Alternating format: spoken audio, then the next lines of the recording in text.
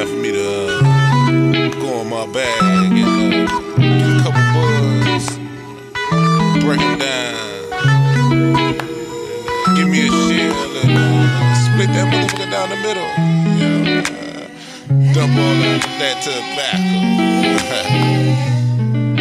Put the motherfucking shell up under the table and uh, push that good green a little close to me. Drop it in that mud rolling up. Give it that perfect seal.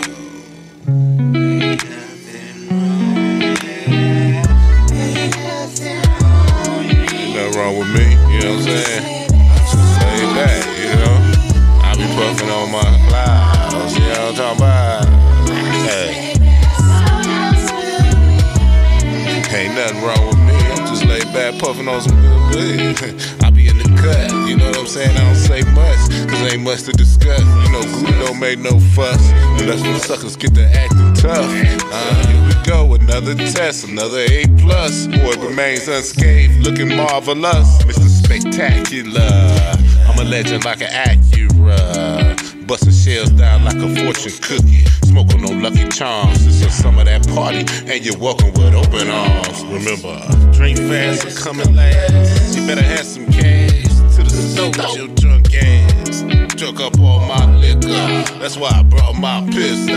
I knew it was gonna be some shit. You I'm.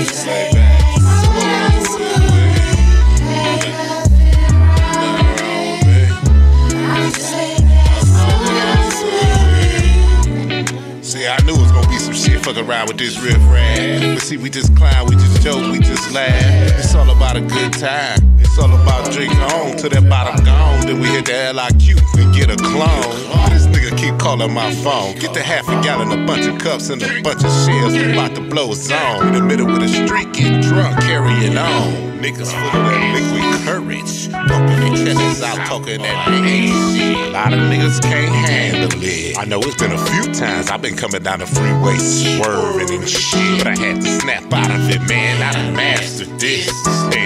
I don't fuck with fake niggas. They on the list. Ain't